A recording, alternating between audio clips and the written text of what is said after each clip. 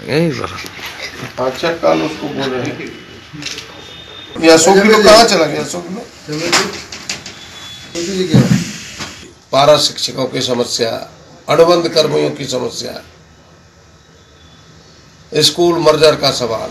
इन तमाम सवालों पर सत्ता पक्ष के विधायक, सांसद तमाम लोग उनके आज भी पक्ष में खड़ा है।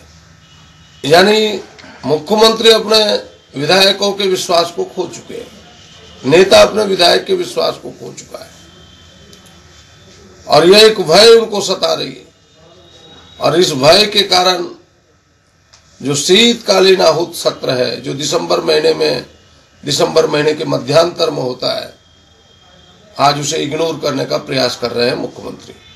अपनी लाठी और डंडे के बल पर तानाशाह बन करके यहाँ शासन चलाना है।